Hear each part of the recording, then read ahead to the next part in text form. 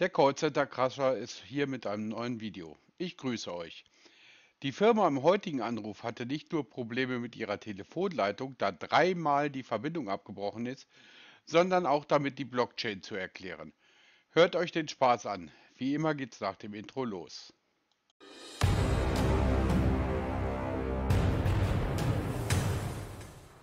Hacke dicht. Ja, das ist richtig. Da muss ich dir erstmal einen riesen geilen Kompliment aussprechen für diesen geilen Namen. Also ich, also ich, ich wär, also du hast echt einen schönen Nachnamen, muss ich sagen. Ja, ne? Finde ich auch. Ja, also Respekt. Äh, aber nichts zu, zu, zur Sache. Äh, ich, wie gesagt, ich bin von Invest Capital. Wir nutzen die Handelsplattform, also die, die Trading-Software äh, Immediate Edge, die Kryptosoftware. Und darauf haben sie sich ja beworben ich wollte mir jetzt mal die zwei, drei Minuten kurz mit Ihnen Zeit nehmen, ja, um ja, Fragen, die Sie bestimmt haben, zu beantworten oder dann dementsprechend dann einen Termin zu vereinbaren mit unserem Broker in Haus. Also Sie sind jetzt noch einer der wenigen, wo ich von den 17 freien verfügbaren Plätzen noch anbieten kann. Und ja, das ist wollte ja nett, da jetzt dass Sie sich für mich Zeit nehmen. Wie Sie sehen, wir sitzen auf Samstag und auch leider Gottes jetzt nach dieser Kampagne auch wahrscheinlich morgen im Büro, weil der Ansturm extrem gerade groß ist. Also wir sind jetzt schon seit um 9 Uhr im Büro. Das Telefon, das glüht. Und deshalb will ich auch gar nicht so viel Zeit mit Ihnen in Anspruch nehmen und Ihre wertvolle, kostbare Zeit am Samstag in Anspruch nehmen, sondern wollte einfach nur mal schauen, wann es bei Ihnen passt, wo Sie sich da mal zehn Minuten Zeit nehmen um mit einem Broker dann zu telefonieren. Der zeigt Ihnen dann die Handelsplattform, wie das Ganze aussieht und bespricht das Ganze weitere dann mit Ihnen. Sie ja. kriegen von mir gleich eine E-Mail, eine, eine Willkommens-E-Mail mit Zugangsdaten, mit allem drum und dran.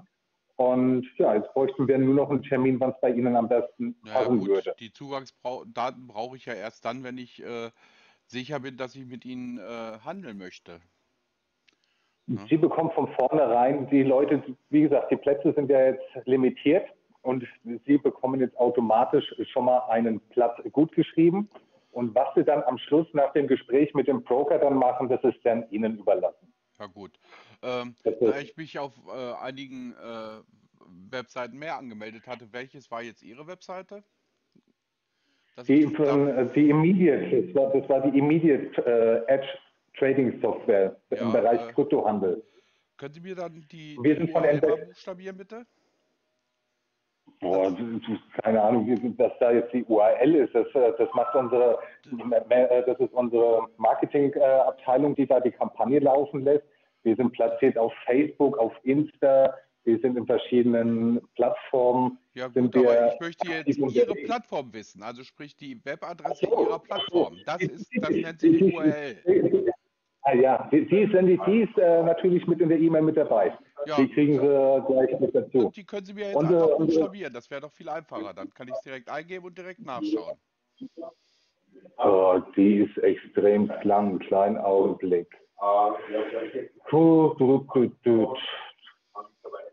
Um, wo ist jetzt ein Augenblick?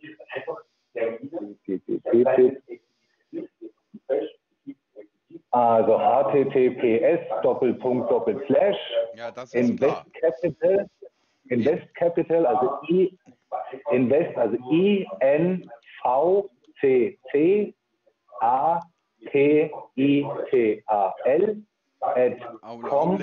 West Capital. Ein Wort, ne? Invest Capital. Ein, ein Wort geschrieben, genau. Und dann weiter?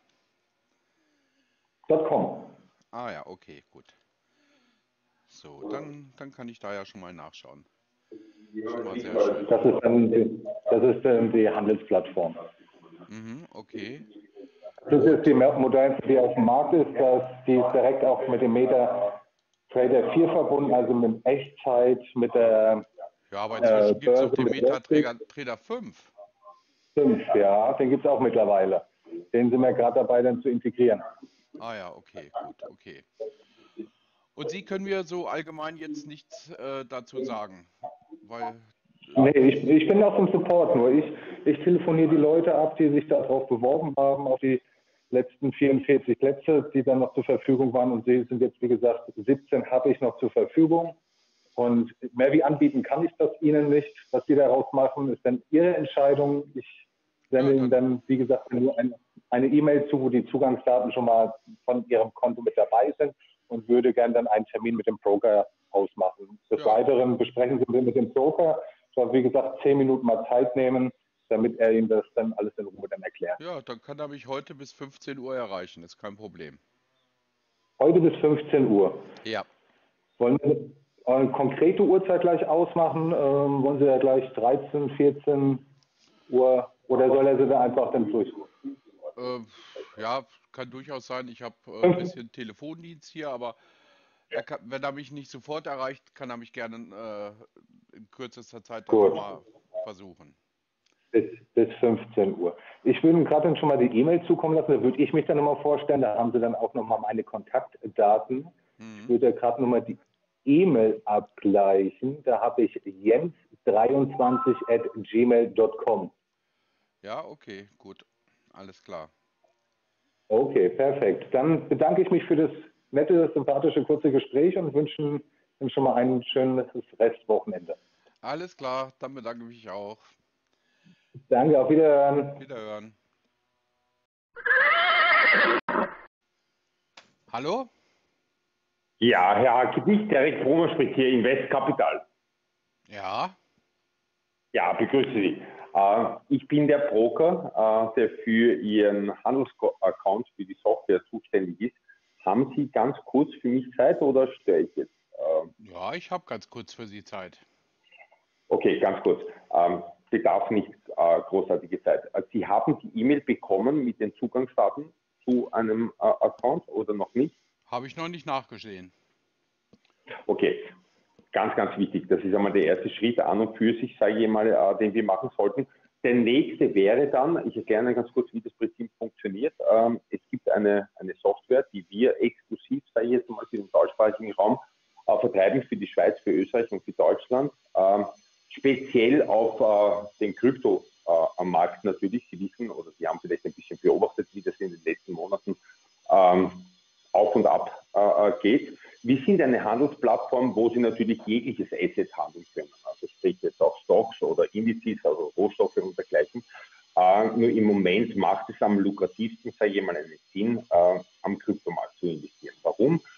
Ähm, wir wissen, Ukraine-Krise, die Russen äh, haben Sanktionen bekommen, haben keinen Zugriff mehr auf äh, Barliquidität, also sprich auf Konten, können ihre Immobilien nicht verkaufen. Jedoch beim äh, Kryptosegment gibt es eine große, große Ausnahme. Ähm, wenn man Geld heute auf einem Wallet zum Beispiel liegen hat, äh, dann kann man dieses jederzeit, sage jetzt einmal, zu Bargeld machen. Deswegen kommt es zu einem eklatanten Auf und Ab am generellen Kryptosegment. Äh, sprich jetzt nicht nur Bitcoin, Ethereum, Ripple und dergleichen. Ähm, Profit, davon profitieren wir als Handelsbank und natürlich auch unsere Kunden extrem davon. Ähm, da gibt es die Software, die im Endeffekt äh, nichts anderes macht, als den korrekten Einstiegspunkt und Ausstiegspunkt uns signalisiert.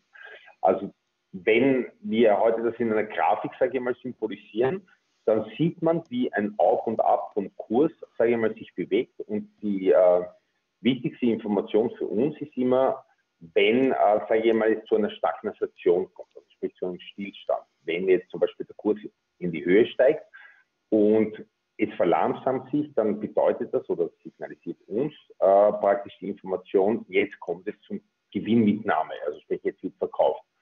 Wenn dann der Verkauf passiert ist, äh, dann tritt wieder Ruhe ein und bedeutet das, jetzt wird wieder nachgekauft.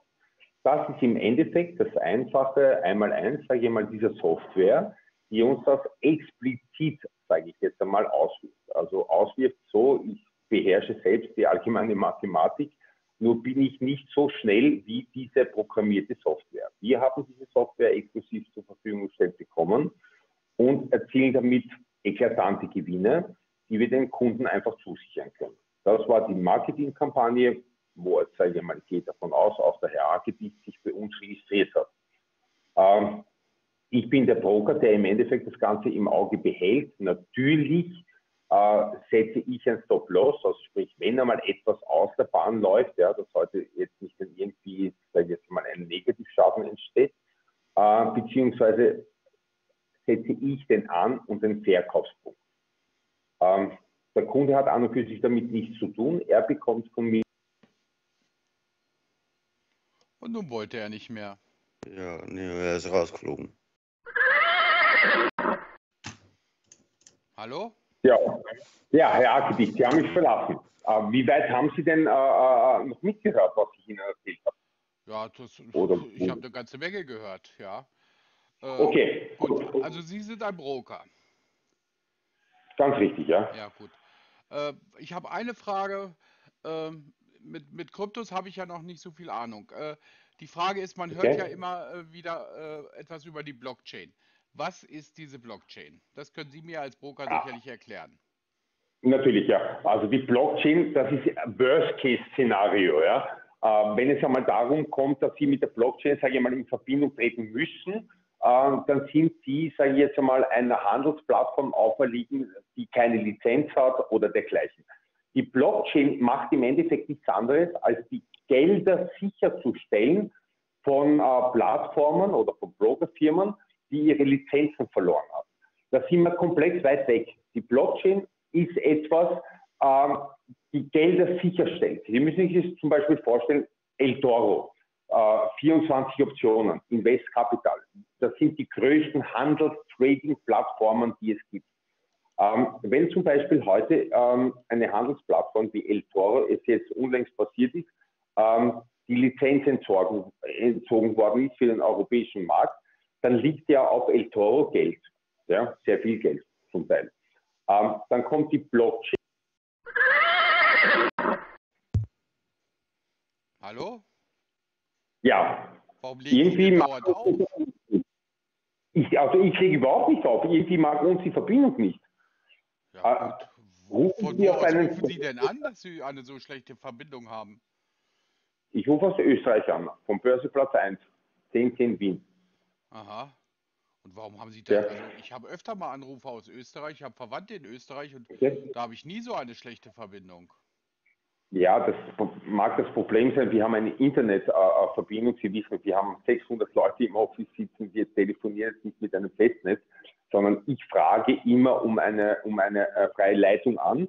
Ähm, Sie bekommen natürlich im Anschluss von mir sofort eine E-Mail, wo Sie von mir eine Rückrufnummer bekommen. Ähm, in dem Moment können Sie mich direkt in meinem Büro, sage ich mal, äh, kontaktieren. Ähm, nur ich wähle mich ein. Also ich, das heißt, ich frage immer nach einer Durchwahl. Das kann manchmal sein Österreich, Schweiz, wir haben in, äh, in, in Belgien, wir haben in Malta äh, äh, Büros. Ähm, aber haben Sie eine, Fe- rufe ich Sie auf einer Festnetznummer an in Deutschland oder rufe ich Sie auf einem Mobiltelefon an? Wie, das sehen Sie nicht? Sie müssen, Also also, Sie müssen doch die Nummer gewählt haben. Nein. Ja, schauen Sie, ich sehe jetzt nur 09 äh, 493022043981, aber ich bin jetzt nicht so weit informiert, ob das jetzt ein Festnetz oder ob das jetzt ein Mobiltelefon ist. welche Nummer haben Sie da? Warten Sie mal ganz kurz, ich sage es eigentlich noch einmal ganz kurz, ich rufe es mir kurz auf. Ähm, ich habe hier 049 3222 043 981. Das ist nicht, äh, ja gut, okay. Okay, alles klar. Gut, also ähm, Sie, Sie sagten, äh, wel- welches war jetzt Ihre Firma nochmal? Also meine Firma ist Invest Capital. Das ist eine der Plattformen, die wir vertreiben. Unter anderem gehört zu uns El Toro, kennen Sie ganz sicher, äh, B500, 24 Option.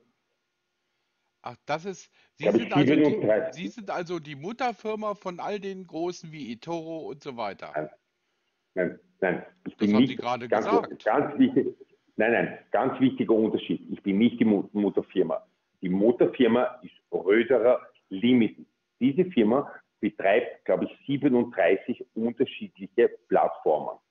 Unter anderem für den europäischen Markt, für den Schweizer Markt, für den deutschen Markt, äh, Invest Capital, FX Market Lab, Interactive Trading, äh, El Toro, B500, äh, 24 Option, äh, Orange Blue Market, iTrader, Excentral. Das sind Plattformen, die gehören dieser, dieser, dieser Firma an. Die Mutterfirma ist Röderer Limited. Ja gut, okay, aber dieses Invest Capital, äh, dann sind Sie ja, Ja. äh, ein Finanzdienstleister, richtig? Korrekt, ja. Okay, Das sind wir, ja. ja Das ist korrekt, ja. Äh, wo sind Sie denn reguliert als Finanzdienstleister? Äh, bei der ESMA, bei der BaFin und bei der SISEC. Ähm, Wohlgemerkt, ganz kurz, ganz, ganz, ganz, ganz wichtig, der große Unterschied. Sie Sie wissen, wir sind kryptobasiert, also sprich, jetzt Invest Capital ist ein Schwerpunkt auf den Kryptomarkt ausgelegte Plattform. Und Sie wissen, eine krypto ausgelegte Plattform äh, bedarf keiner Regulierung, keiner Lizenz. Wir haben natürlich eine Lizenz, aber Kryptos können Sie heute auch ohne eine Lizenz, sage ich jetzt einmal, traden oder handeln. Ja? und, Seitdem Sie, ja, also Sie sind also Sicher. bei der BaFin gelistet. natürlich, Okay. natürlich. Ich Äh, kann Können Sie Ihnen- mir bitte ja. mal dann die BaFin-ID geben? Äh, Ich kann Ihnen, wenn Sie möchten, über Telefon, sage ich mal, passiert sowas überhaupt nicht. Warum wenn nicht? Sie möchten, Das wir machen einen kurzen ein. Datenabgleich. Na, es geht nicht um ein paar Zahlen, es muss immer alles schriftlich passieren. Nee, Äh, ich brauche einen. Nachweis, dass ich Sie das rufen mich an. Sie haben ja gar keinen Brief geschrieben, Sie rufen mich an. Warum soll das jetzt schriftlich geschehen? in nein, Finanz, es gibt ein europäisches Finanzgesetz und das besagt, dass ich den Kunden eine Information über meinen Dienstleister Welches immer Gesetz das? schriftlich mitteilen muss. Bitte? Welches Gesetz ist das? Das obliegt dem europäischen Finanzgesetz. Ja, Fragen Sie mich welche- jetzt nicht welcher genau Paragraph den ist? Direkten. Ich bin kein Jurist, ich bin ein Ja, Broker. Sie, Sie, Sie, Broker. Sie sagen, es obliegt dem europäischen Finanzgesetz. Da müssen Sie mir auch sagen, Genau. welches Gesetz das genau ist, welcher Paragraph. Ansonsten kommt das ja gar nicht in Frage. Herr Hegedicht, wenn Sie möchten, schicke ich Ihnen jetzt im Nein. Anschluss des Telefonats Sagen Sie mir eine einfach, E-Mail. sagen Sie mir entweder Ihre bin oder sagen, hören, lassen Sie mich einfach mal ausreden. Das wäre schon mal ganz nett. Sie sprechen von einem Paragraphen oder von einem Finanzgesetz. Dann nennen Sie mir Mhm. das Gesetz. Das Gesetz heißt Europäisches Finanzgesetz. Ja, und welcher Paragraph ist da ist- nun gültig für das, was Sie sagen, was Den- nicht geht? Nochmal, ich bin jetzt kein Jurist, den Das sollten Sie dann Paragraph vielleicht sagen, wenn Sie im Kundensupport direkt arbeiten und mit solchen äh, Sachen um sich Ich bin werfen. nicht Kundensupport, ganz kurz. Hegel, Sie sind- ja, Sie sind ein Broker, stimmt, ich habe vergessen. Broker. Sie sind ein Broker und, und Sie sagen, dass äh, die, die, die Blockchain zur Sicherung und äh, äh, der, der, ähm, der Werte ist. Mit Verlaub gesagt, Sie haben keine Ahnung, Nein. was die Blockchain ist. Sie sind also nur ein Oh, Betrüger. die, Blo Nein, die Blockchain, ich weiß ja wohl, was die Blockchain ist. Ja, das haben Die Sie aber falsch erklärt. eine Institution. Okay, was ist, dann erklären Sie mir bitte, was die Blockchain Ja, korrekt ist. versuchen Sie es doch nochmal. Die Blockchain ist eine Institution, die Gelder auf Handelskonten, auf sogenannten Tradings-Accounts sichergestellt worden ist von Handelsplattformen, deren Lizenz entzogen geworden Stimmt nicht. ist. Definitiv ist es so. Nein, stimmt nicht. Stimmt nicht. Gut. Gut, ich denke, dass das Telefonat mit uns zwei nicht allzu zielführend sein wird. Äh, dennoch, meine Aufgabe verlangt es, äh, dass ich Ihnen die E-Mail zukommen lasse. Ähm, Sie bekommen von mir die Zugangsdaten. Die Entscheidung liegt bei Ihnen, ähm, ob Sie das machen möchten oder nicht. Ähm, Sie bekommen meine Rückrufnummer natürlich, wo Sie mich direkt definitiv auf der Okay, dann, dann versuchen wir es mal anders. Versuchen wir es mal anders mal. Äh, da Sie da die, die Blockchain ja schon nicht erklären können, dann werden Sie mir sicherlich Ich habe sagen, hören stopp, Sie, lassen Sie mich doch einfach mal ausreden. habe. Nein, ich habe meine. Zeit nicht geschossen. Seien Sie mir nicht böse, ja? Sie kommen, ich Doch, rufe ich Sie bin Ihnen böse. Sie sind ein Betrüger. Sie sind einfach nur ein Betrüger. Ein ganz Also, dummer Betrüger. Gut, Wollen Sie dann sonst noch wünsche ich etwas Ihnen sagen? Dann wünsche ich Ihnen Sie das sind alles so Liebe. lächerlich. Sie sind so lächerlich. Ich lach Sie aus. Sie haben von Tuten und Blasen keine Ahnung. Sie, Und Blasen habe ich definitiv keine Ahnung. ja, doch, das ja, stimmt. doch. Ja, Wahrscheinlich haben Sie mir von Blasen Alles mehr klar. Ahnung als von der Blockchain. Das kann ich mir sicherlich vorstellen. Das kann ich mir in jedem Fall vorstellen. Haben Sie sonst noch etwas zu sagen?